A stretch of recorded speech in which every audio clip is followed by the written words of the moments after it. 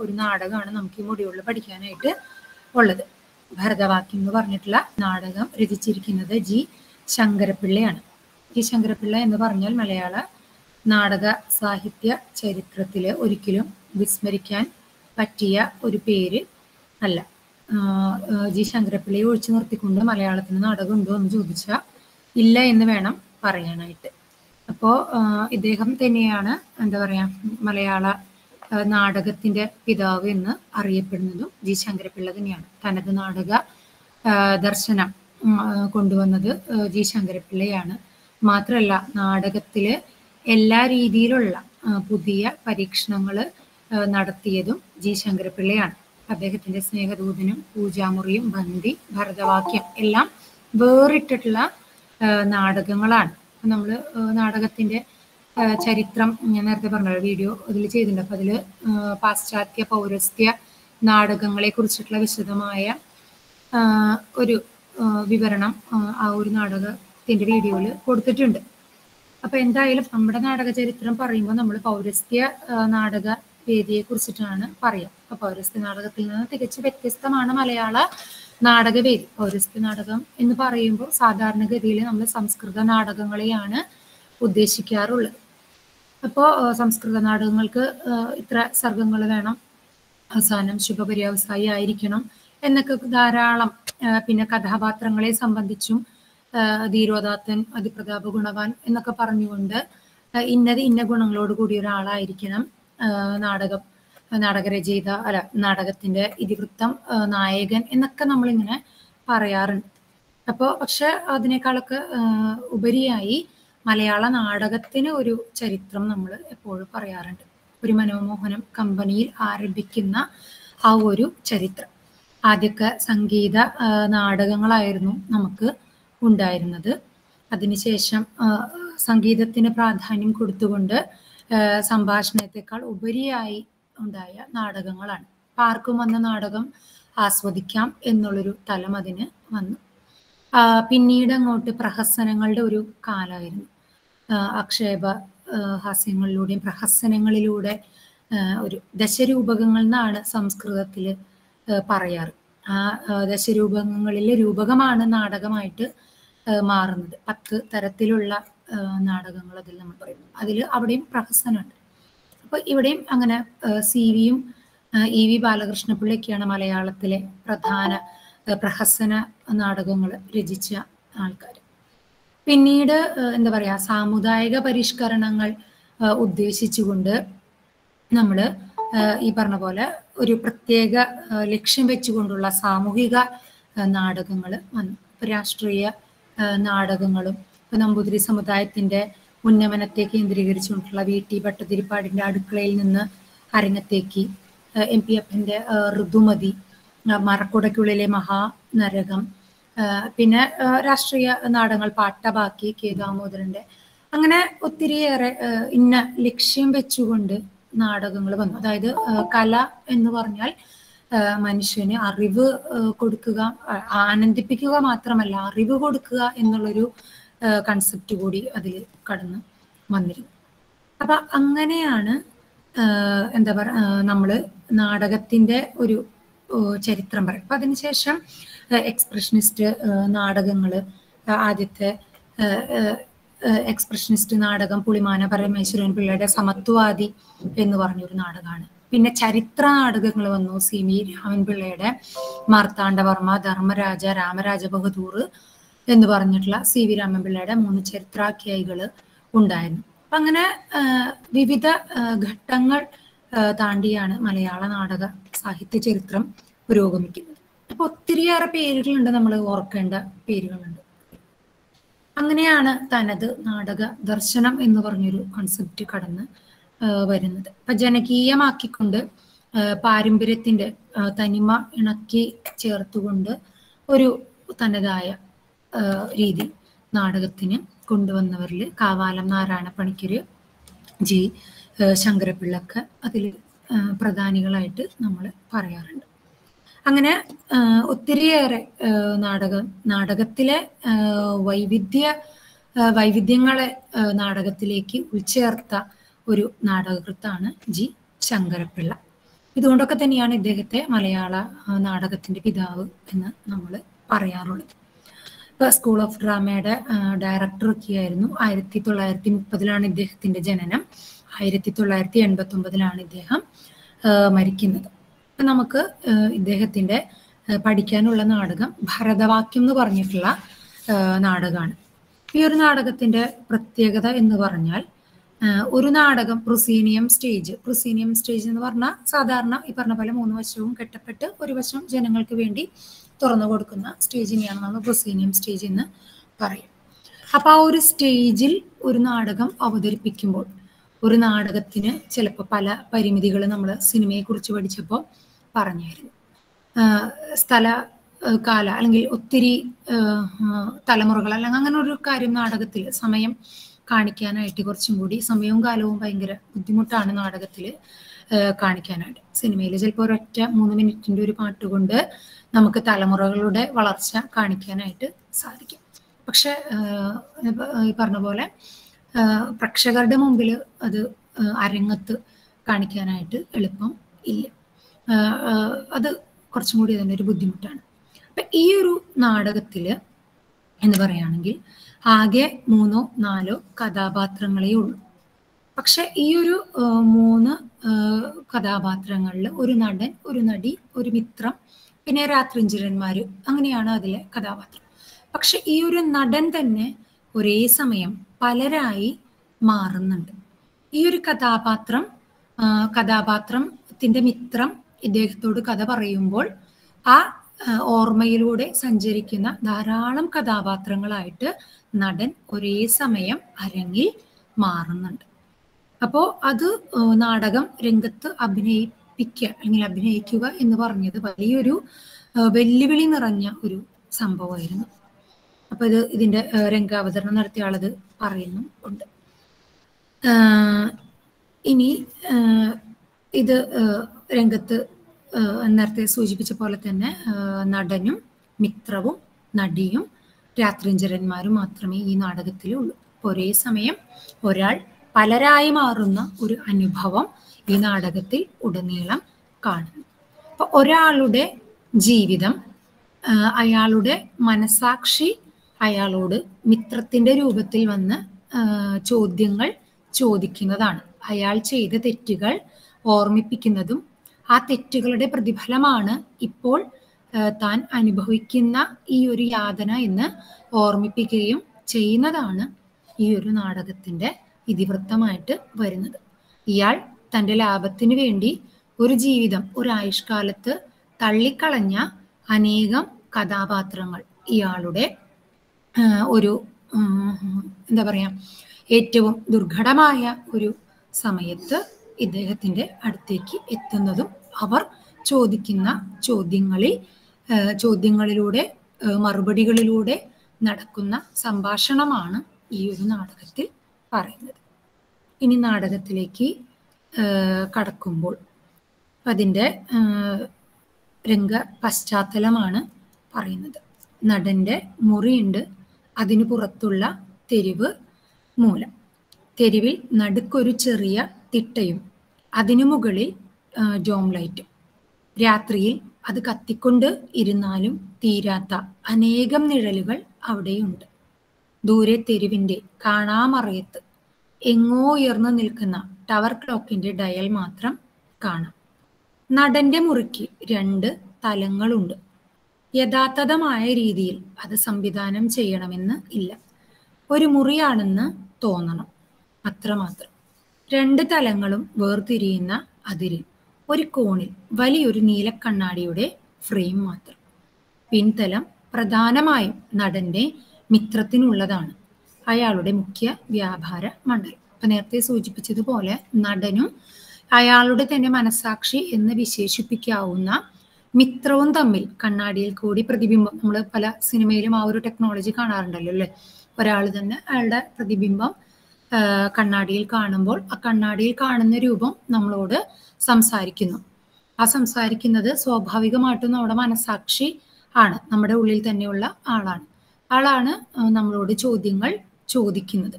ഇവിടെ നടൻ നടന്റെ മിത്രം അതായത് നടന്റെ മനസാക്ഷി ആണ്. അവരാണ് മിക്കവാറും രംഗത്ത് എല്ലാം വരുന്നത്.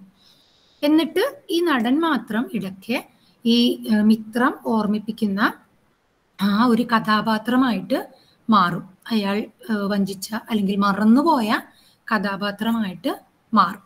അപ്പൊ അങ്ങനെയാണ് ഈ ഒരു നാടകത്തിന്റെ മുഴുവൻ രംഗങ്ങളും വരുന്നത്. ഇനി ഒന്നാം വളരെ ചെറിയൊരു നാടകമാണ്. പക്ഷെ ഇതിന്റെ രംഗാവതരണമാണ് കുറച്ചും കൂടി ബുദ്ധിമുട്ടാവുക. അതിന്റെ സ്ക്രിപ്റ്റ് ഇങ്ങനെ വായിച്ചു പോകുമ്പോൾ നമുക്ക് വലിയ പ്രശ്നം തോന്നുന്നില്ല. ഇനി കോളേജൊക്കെ ഉണ്ടെങ്കിൽ നമുക്ക് ഈ പറഞ്ഞ പോലെ രണ്ട് മൂന്ന് പേര് വിളിച്ചു നിർത്തി ഇത് അവതരിപ്പിക്കുന്നത് പോലെ വായിക്കാമായിരുന്നു അപ്പൊ അതിനുള്ള സാധ്യതകളെല്ലാം മങ്ങിയിരിക്കുന്നത് കൊണ്ട് വായിക്കാം. അംഗമൊന്ന് സമയം രാത്രി.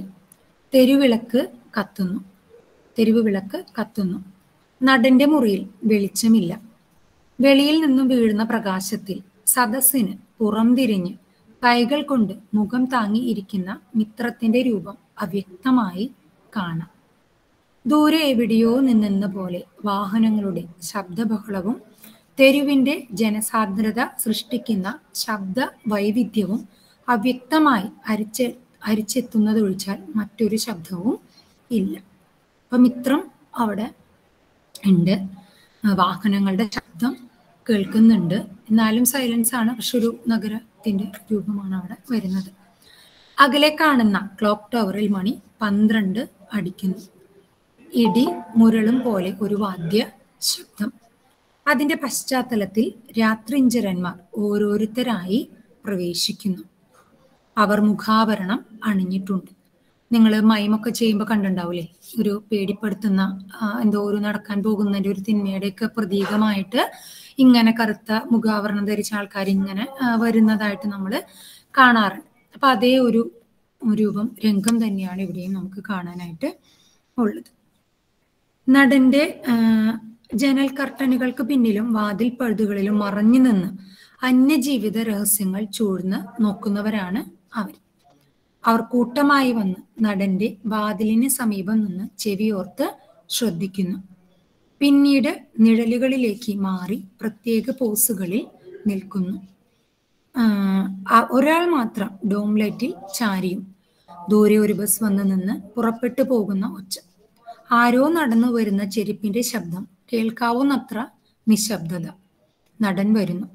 അയാൾ ആരെയും കാണുന്നില്ല. വിളക്ക് കാലിനടുത്തെത്തുമ്പോൾ സ്വന്തം വാച്ചിലേക്ക് തിരിഞ്ഞ് ക്ലോക്കിനെയും നോക്കുന്നു.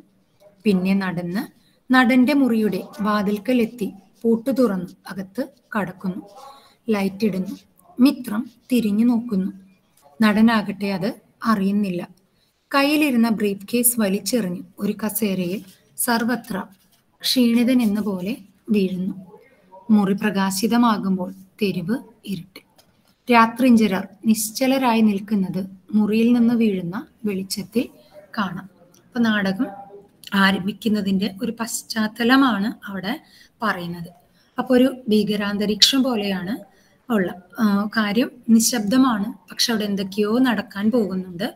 രാത്രിഞ്ചരന്മാർ നിശാചരന്മാർ പോലുള്ളവർ ഇങ്ങനെ മുഖാവരണം ധരിച്ച് അവിടെ നിൽക്കുന്നുണ്ട്. അവർ അന്യജീവിതത്തിന്റെ രഹസ്യം തേടി പാഞ്ഞു പോകുന്നവരാണ്. മിത്രം അവിടെ ആ ഒരു മുറിയിൽ ഇരിക്കുന്നുണ്ട്. നടൻ യാത്ര കഴിഞ്ഞ് വരികയാണ്. സർവത്ര ക്ഷീണിതനായിട്ടാണ് അദ്ദേഹത്തിന്റെ വരവ്. ഇതാണ് നാടകം തുടങ്ങുന്നതിന്റെ ഒരു പശ്ചാത്തലമായിട്ട് വരുന്നത്. ഇനി മിത്രം നടനെ കാണുമ്പോൾ തന്നെ സംസാരിക്കുകയാണ്. തന്റെ സ്ഥാനത്ത് നിന്ന് എഴുന്നേറ്റ് കണ്ണാടിയുടെ അടുത്ത് ചെന്ന് ഹലോ ഹലോ മിണ്ടുകയില്ലേ? എന്റെ സാന്നിധ്യം സഹായം വേണ്ടേ? നടൻ നോക്കാതെ എനിക്ക് വേണ്ടത് സ്വൈര്യം. ഞാൻ നിന്റെ മിത്രമല്ലേ? റൂംമേറ്റ് നിനക്ക് സ്വൈര്യം തരുന്നവൻ. അല്ല കഷ്ടം. അത് എന്നോടൊപ്പം കഴിയുന്ന നീ പോലും എന്റെ അസ്വാസ്ഥ്യം വർദ്ധിപ്പിക്കുകയല്ലാതെ. മിത്രം ഓർത്തു നോക്കൂ. നമ്മുടെ ഭൂതകാലം നടൻ അസഹ്യതയോട് ഭൂതകാലം ആ നാശത്തെ കൊണ്ട് ചുടും. ശപിച്ചതുകൊണ്ടായോ? ആ ഭൂതകാലം നിഴലുകൾ പോലെ മുന്നിൽ വന്ന് നിൽക്കുകയല്ലേ? ഭയപ്പെടുത്തുന്ന മുഖാവരണങ്ങളും ആയി. അപ്പോ മിത്രം പലതും ഓർമ്മ ഓർമ്മിപ്പിക്കാനായിട്ട് ശ്രമിക്കുകയാണ്. അപ്പൊ എന്തൊക്കെയോ ഭൂതകാലത്തിൽ സംഭവിച്ചിട്ടുണ്ട്. അതൊരിക്കലും കേൾക്കാനായിട്ട് അതിനെക്കുറിച്ച് ഓർക്കാനായിട്ട് നടൻ ആഗ്രഹിക്കുന്നില്ല. അതുകൊണ്ടാണ് ആ ഭൂതകാലത്തെ കൊണ്ട് ചുടു എന്ന് മിത്രത്തോട് നടൻ പറയുന്നത്. അപ്പൊ അത് ശപിച്ചിട്ട് കാര്യമൊന്നുമില്ല. ആ ഭൂതകാലം ഇന്നും നിഴൽ പോലെ നമ്മെ പിന്തുടരും. അങ്ങനെ തന്നെയാണല്ലേ? നമുക്ക് ഭൂതത്തിൽ ഒരുപാട് ദുഃഖങ്ങൾ ഉണ്ടെങ്കിൽ നമ്മുടെ ജീവിതാവസാനം വരെ അതിന്റെ കരിനിഴലുകൾ നമ്മെ പിന്തുടർന്നുകൊണ്ട് ഇരിക്കും. ഒരിക്കലും നമുക്ക് ജീവിതത്തിൽ സന്തോഷം കിട്ടണമെന്ന് ഇല്ല. നമ്മൾ ഒരിക്കലും വർത്തമാനത്തിൽ ജീവിക്കുന്നവരല്ലല്ലോ. നമ്മൾ ഒന്നില്ലെങ്കിൽ ഭാവിയിൽ ജീവിക്കും അല്ലെങ്കിൽ ഭൂതത്തിൽ ജീവിക്കും. ഭാവിയും ഭൂതവും നോക്കി പലപ്പോഴും വർത്തമാനകാലം മറന്നു പോകുന്നവരാണ് മനുഷ്യര് അധികവും ജീവിതത്തിൽ. പക്ഷെ ഇയാൾ മറക്കാൻ ആഗ്രഹിക്കുന്ന ആ ഒരു ഭൂതകാലം ഇവിടെ മിത്രം ഓർമ്മിപ്പിക്കുകയാണ്. ഈ മുറിക്കകത്ത് വരരുത്. ആ നിഴലുകളും അവയുടെ വികൃതമായ രേഖകളും ഒന്നും എനിക്ക് മതിയായി. അവയെ ആട്ടി ഓടിക്കാനെങ്കിലും ഞാൻ വേണ്ടേ? വേണ്ട. പാവം. പുല്ലുകൾ കൊണ്ട് ഉപകാരമുണ്ടാകും. പാവം. പുല്ലുകൾ കൊണ്ട് ഉപകാരമുണ്ടാകും. തന്റെ പല്ലുകളാണ്. പല്ലുകൾ തേക്കാൻ കൊള്ളാം എന്നാണ് കവി വാക്യം. നടൻ ശേ കിടന്ന് കൂവാതിരിക്കെ. നീ ആരാണ്? മിത്രം ഞാൻ. നീ തന്നെ നീ തന്നെ. ഉച്ചഭാഷണിയോ? അപ്പോ നടൻ നടനെ പലതും ഓർമ്മിപ്പിക്കാനുള്ള ഒരു വരവാണ്. അപ്പൊ എന്തെങ്കിലും നിന്നെ കൊണ്ട് അല്ലെങ്കിൽ ഈ മുറിക്കകത്ത് വരരുത്. നിഴലുകളും അവയുടെ വികൃതമായ രേഖകളും ഒന്നും എനിക്ക് കാണണ്ട. എല്ലാം മതിയായി. അപ്പൊ പറയാണ് ഒന്നും അങ്ങനെ പറയരുത്. ഈ ഒരു പുൽക്കൊടിക്ക് പോലും നമ്മുടെ ജീവിതത്തിൽ പ്രാധാന്യം ഉണ്ട്. അപ്പോ കിടന്ന് കൂവാതിരിക്കെ. എനിക്കൊന്നും കേൾക്കാനായിട്ട് താല്പര്യമില്ല എന്നാണ് മിത്രം നടൻ അവിടെ പറഞ്ഞുകൊണ്ടിരിക്കുന്നത്. അപ്പൊ ആരാണ് നീ എന്ന് ചോദിക്കുമ്പോൾ നീ തന്നെയാണ് ഞാൻ എന്ന് പറയാണ്.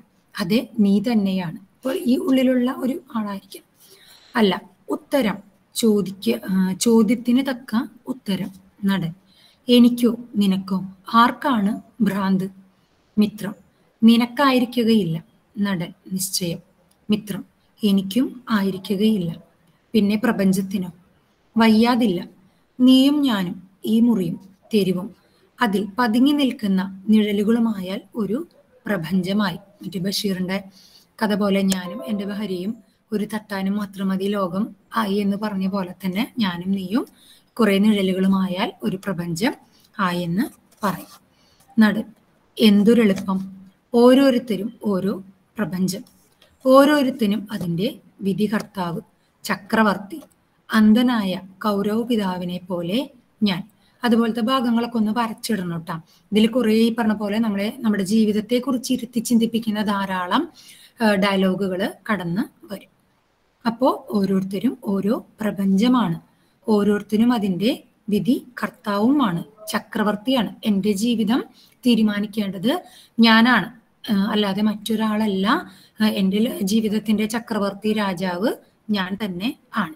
അപ്പൊ നടൻ പറയാണ് നടന്റെ അവസ്ഥ ഇപ്പോ കൗരവ പിതാവായ ധൃതരാഷ്ട്രരുടെ പോലെയാണ്. കണ്ണ് ഇല്ലാത്തവനെ പോലെയാണ് താൻ ഇന്ന് നടൻ അവിടെ വേൽപ്പിക്കുകയാണ് മിത്രം നമ്മൾ.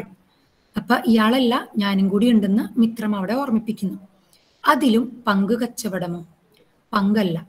പാതിയും പാതിയും ചേർന്നാൽ മുഴുവനാകും. നടൻ പപ്പാതി. രാമകൃഷ്ണ പരമഹംസൻ പറഞ്ഞിട്ടില്ലേ? പശു വിളിക്കുന്നത് ഹംബ ഹംബ എന്ന്.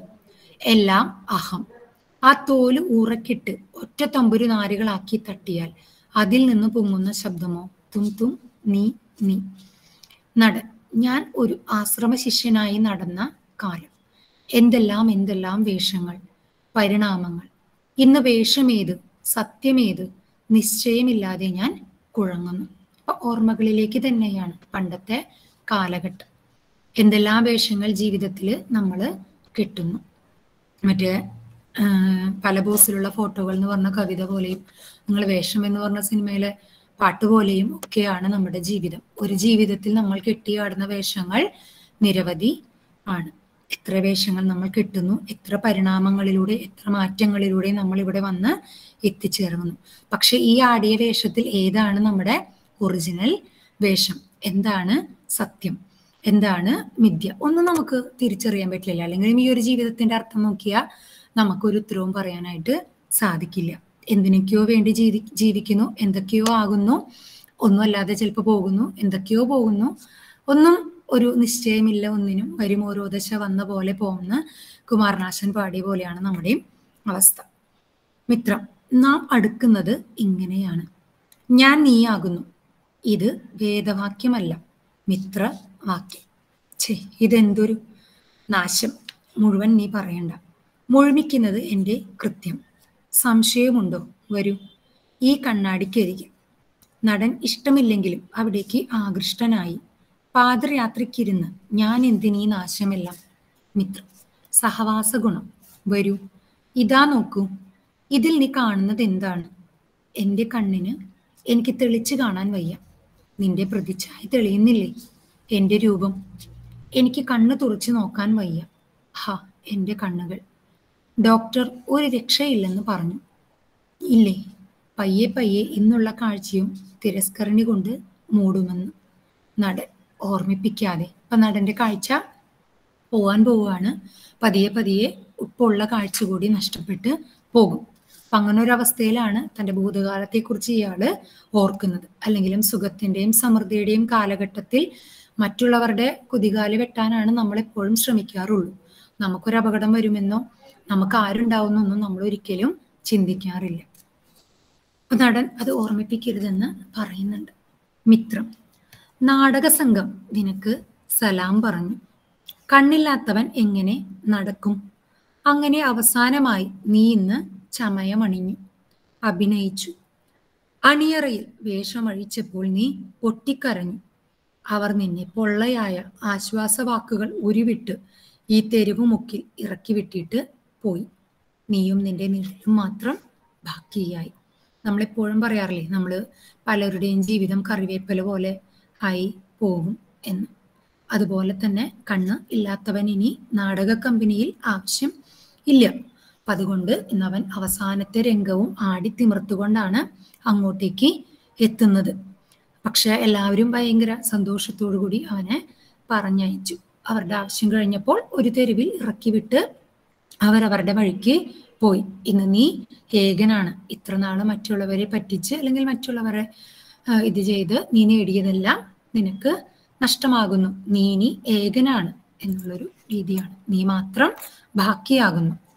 നടൻ. ഓരോ പ്രസ്താവത്തിലും കണ്ണുമിഴിച്ച് ആ നോട്ടത്തിലുണ്ടായ വേദനയോടും ആകെയുണ്ടായ അത്ഭുത സ്തോപത്തോട്. നീ നീ ഇതൊക്കെ എങ്ങനെ അറിഞ്ഞു? അറിയാതെ പറ്റുമോ? നിന്റെ ഏകമിത്രം ഞാനാകുമ്പോൾ നട കഴിഞ്ഞു. ജീവിതത്തിൽ പല വേഷങ്ങൾ കിട്ടി. ഒന്നും എന്നെ തൃപ്തനാക്കിയില്ല. ഒടുവിൽ ഇതിൽ ഈ വേദിയിൽ ഞാൻ എന്നെ കണ്ടെത്തി. ഇന്ന് അതും ഇല്ലാതായി. ആവശ്യം കഴിഞ്ഞ ഒരു രംഗസാമഗ്രി പോലെ ഞാൻ വലിച്ചെറിയപ്പെട്ടു. എനിക്ക് കണ്ണുണ്ടായിരുന്നപ്പോൾ ഓരോ നാടകം കഴിയുമ്പോഴും ആയിരം കണ്ണുകൾ എന്റെ മേൽ പതിച്ചിരുന്നു. അസൂയയുടെയും ആരാധനയുടെയും ഇന്നെന്റെ കാഴ്ച നശിച്ചപ്പോൾ അവസാനത്തെ തിരശീല വീണ് ഞാൻ പൊയ്മുഖം അഴിച്ചപ്പോൾ ആരും ആരും നീയും ഉണ്ടായില്ല. അപ്പോൾ ഇതാണ് മനുഷ്യ ജീവിതത്തിന്റെ വ്യർത്ഥത എന്ന് പറയുന്നത്. പല വേഷങ്ങൾ ആടി ആടി തിമിർത്തു. പക്ഷെ ഇനിയൊരു വേഷം ആടാനില്ല എന്ന് മറ്റുള്ളവരും നമ്മൾ മനസ്സിലാക്കുമ്പോൾ ഒരു പക്ഷേ ജീവിതത്തിൽ ഉണ്ടാകുന്ന വേദന.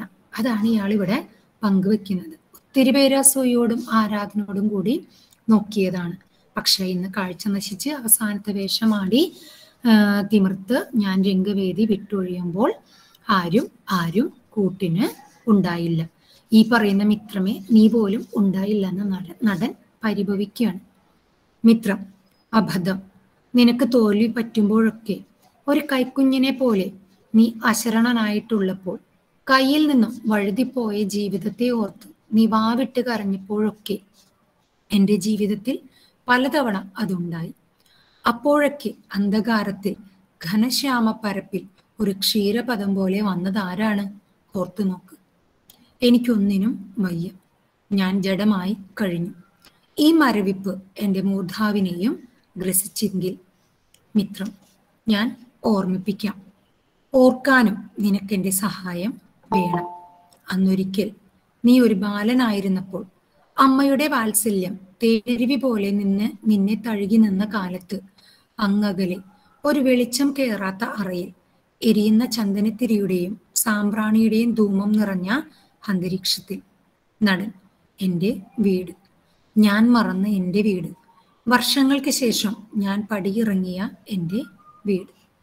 നീ തളർന്നു കിടക്കുകയായിരുന്നു. നിന്റെ കണ്ണുകൾ പാതി വിടർന്നിരുന്നെങ്കിലും പനി കൊണ്ട് നീയൊന്നും കണ്ടിരുന്നില്ല. സജലങ്ങളായ രണ്ട് വൃദ്ധ നേത്രങ്ങൾ നിന്റെ മുഖത്തോടടുത്ത് ഉണ്ടായിരുന്നു. അവയൊഴുക്കിയ നിശബ്ദ കണ്ണീർ കണങ്ങൾ നിന്റെ ചൂട് പിടിച്ച കവിളുകളിൽ വീണ് വറ്റി. അങ്ങനെ പാതി മരിച്ച് നീ കിടന്നപ്പോൾ ഞാൻ വന്നു. പഴകി ദ്രവിച്ച ഓലമേച്ചിലിന്റെ അനേകം സുഷിരങ്ങളിൽ കൂടി. അരിച്ചു വീഴുന്ന സൂര്യരശ്മികളുടെ അകമ്പടിയോടെ നീ എന്നെ ആലിംഗനം ചെയ്തു. നമ്മൾ സല്ലപിച്ചു. നീ രസിച്ചു. നീ ചിരിച്ചു. നിന്നെ ഞാൻ കാടുകളിലേക്കും മേഘമാർഗത്തിലേക്കും കൊണ്ടുപോയി.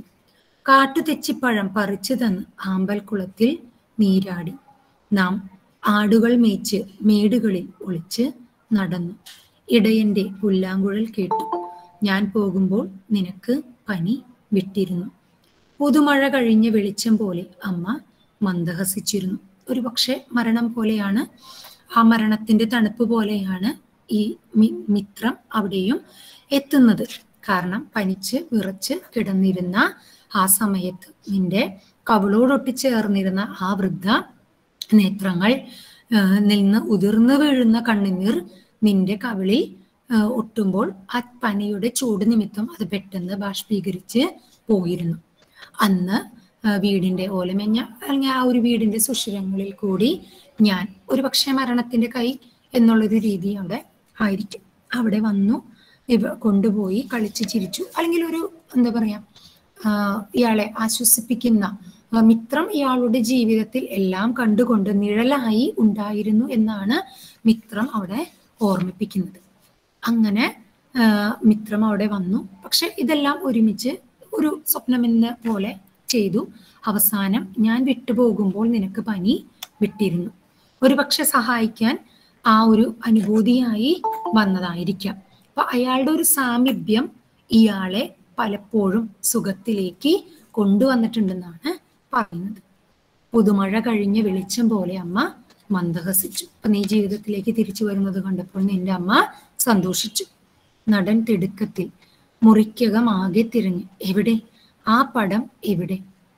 മിത്രം പാവം വിളക്കൂതിക്കെടുത്തിട്ട് നിഴൽ തിരിയുന്ന കളിക്കുഞ്ഞ് നടൻ സാപേക്ഷം. ഞാനതൊന്ന് കണ്ടുകൊള്ളട്ടെ. എന്തിന് നട എന്റെ അമ്മയുടെ ചിത്രം. കണ്ണുകളിലെ വെളിച്ചം നശിച്ച് ഞാൻ അന്ധനാകും മുമ്പ് ദയവ് ചെയ്ത് കണ്ടെങ്കിൽ എടുത്ത് തരും. അപ്പോൾ ജീവിതത്തിന്റെ തിരക്കുകളിൽ അന്ന് ഒരു രോഗാവസ്ഥയിൽ ഇയാളോടെ കവളോടൊട്ടി ചേർന്ന് കിടന്ന ആ വൃദ്ധ നേത്രങ്ങളെയും പറ്റിച്ചുകൊണ്ട് ആയിരിക്കണം നടൻ ജീവിത ആടിത്തിമിർക്കാൻ വന്നത്. ഇന്ന് എല്ലാം നശിച്ച് കണ്ണിലെ അവസാന തിരുവട്ടവും ഇല്ലാതാകുന്നതിന് മുമ്പാണ് നടൻ തന്റെ അമ്മയെ കുറിച്ച് ഓർക്കുന്നത്. അമ്മയുടെ പടമെങ്കിലും അവസാനമായി ഒന്ന് കാണട്ടെ എന്നാണ് അയാളുടെ വിലാപം. മിത്രം പോക്കറ്റിൽ നിന്ന് ചെറിയ ചില്ലിട്ട ചിത്രം എടുത്തു കൊടുക്കുന്നു. നടൻ സാവേശം അത് മേടിച്ച് നോക്കുന്നു. മിത്രം പിന്നീട് ഞാൻ വന്നത് അന്നാണ്. ആ അമ്മയുടെ ശവദാഹം കഴിഞ്ഞു. നട ഞാനതിന് പോയില്ല. മിത്രം എന്നെ പഠിപ്പിക്കേണ്ട. അറിയാം. നിനക്കറിയാത്തതുകൂടി അറിയാം. മരണക്കിടക്കയിലും നഷ്ടപ്പെട്ട മകനെ തേടി ആ കണ്ണുകൾ ഉഴറി നടന്നു. ഓരോ നിഴലിനെയും അത് നോക്കി. മറ്റു മക്കളെല്ലാം ചുറ്റിലും നിന്നിട്ടും കാണാത്ത മോനെ ചൊല്ലി ആ കണ്ഠം ഇടറി. എല്ലാ അമ്മമാർക്കും അത് തന്നെയാണ്. നീതിമാന്മാരായ തൊണ്ണൂറ്റൊൻപത് പേരുണ്ടെങ്കിലും അല വിട്ടുപോയ ഒരാളെ തേടി അലയുന്നവരാണ് എല്ലാ മാതാപിതാക്കളും. അമ്മമാർക്ക് അങ്ങനെ തന്നെയാണ്. എല്ലാവരും അടുത്തുണ്ടായിരിക്കണം. ഇപ്പൊ മരണക്കിടക്കയിലും അമ്മയുടെ കണ്ണ് പരതിയത് ഈ ഇട്ടിട്ടു പോയ മകനെ തേടിയാണ്. പക്ഷെ ഇദ്ദേഹം വന്നില്ല. നീയെന്ന് മദ്യപിച്ചു. നിറയെ നിറയെ കുടിച്ചു. നാടകം തീർന്നിട്ടേ ഞാനതറിഞ്ഞുള്ളൂ. എന്നെ അറിയിച്ചുള്ളൂ. പിന്നെ ബോധം വീണത് അറിയാം അറിയാം. ഞാൻ അടുത്ത് ഉണ്ടായിരുന്നു. കള്ളം. പച്ചക്കള്ളം. ഏതോ വാടകമുറിയിലെ എണ്ണമെഴുക്ക് വീണ തലയിണയും കെട്ടിപ്പിടിച്ച് ഞാൻ കരയുകയായിരുന്നു. ആരും കൂട്ടിനില്ലാതെ. ഞാൻ നിന്നെ അന്നും കൊണ്ടുപോയി. നിസ്വനായിട്ടല്ല ആരുമില്ലാത്തവൻ ദരിദ്രനായിട്ടല്ല സമ്പന്നനായിട്ട്. അനേകം പരിവാരങ്ങളോടെ നിന്നെ കാണാൻ മരിച്ച അമ്മ പോലും കണ്ണു തുറന്നു. നീ പണം വാരി വാരി വിതറിയെറിഞ്ഞു. ബന്ധുവർഗം പ്രഭുമന്ദിരത്തിലെ അടിമകളെ പോലെ അവ വാരിയെടുക്കാൻ കലശിൽ കൂട്ടി. നീ പൊട്ടിച്ചിരിച്ചു. ദിഗന്ധഭേദിയായ അട്ടഹാസം. നീ എണീറ്റു. നീ മുറി തുറന്നു. നീ നിശ്ചയം ചെയ്തു. നടൻ നീയായിരുന്നോ അത്? ഇന്നും ഞാൻ വന്നിരിക്കുന്നു. മിത്രമേ ഉടപ്പിറപ്പേ വരും.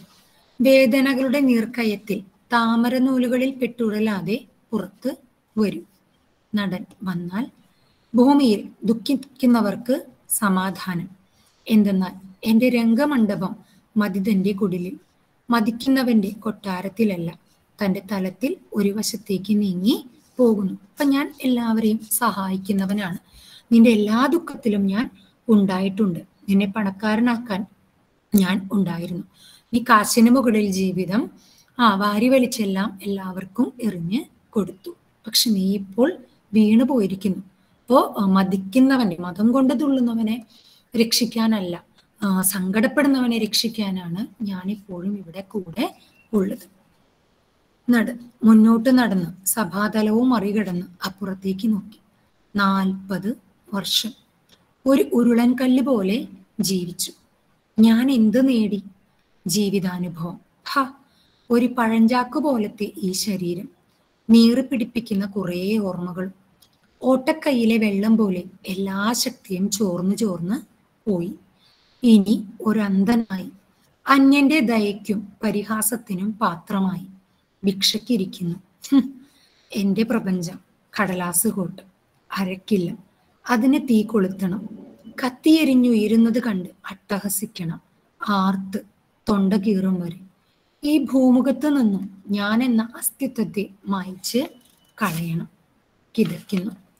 തെരുവിലെ നിഴൽ രൂപ രാത്രിഞ്ചരന്മാർ ഈ പൊട്ടിത്തെറിക്കലിൽ വാദിപ്പടിയുടെ അവിടെ വന്ന് എത്തി നോക്കുന്നു. അവർ ആനന്ദത്തിന്റെ ചേഷ്ടകൾ കാട്ടുന്നു. അതൊന്നും കാണാതെ പിന്തിരിഞ്ഞ് കണ്ണാടിയുടെ അടുത്തെത്തി സ്വയം അയൽ വീടറിയാത്ത മരണം.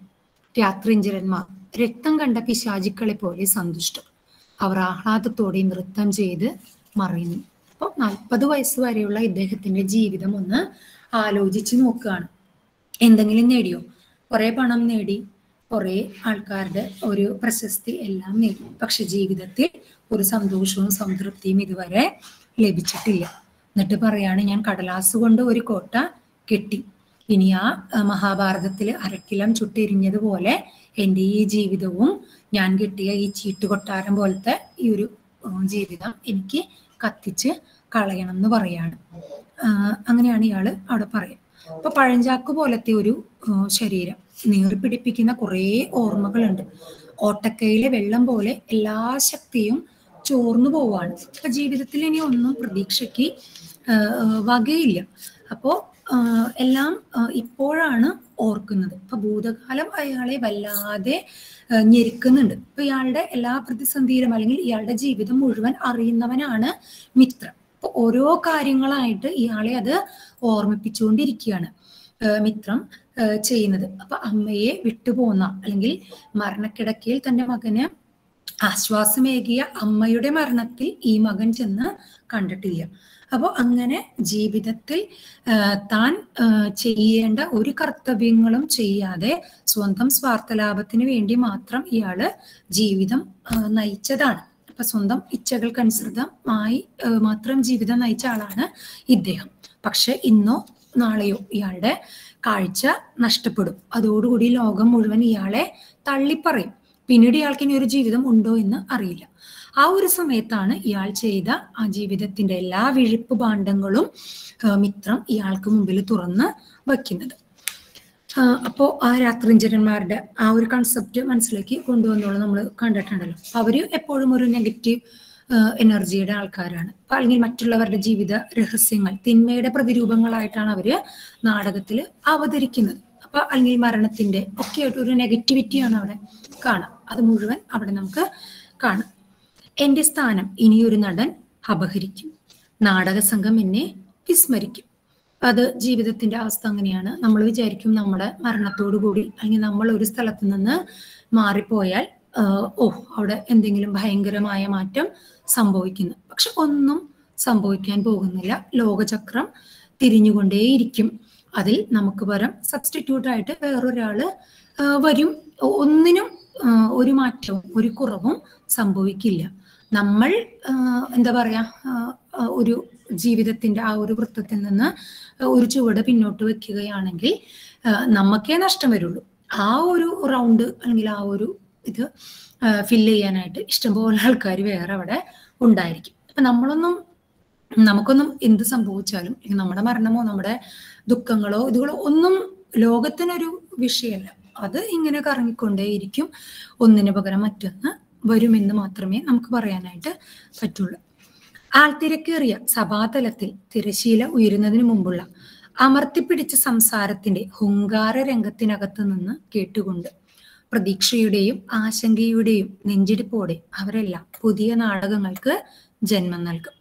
മണിയടി ഒന്ന് രണ്ട് മൂന്ന്. കർട്ടൻ ഉയരും കയ്യടികൾ ഹായ്. ഇന്നലെ വരെ എന്റെ സാമ്രാജ്യം അനുഭൂതി.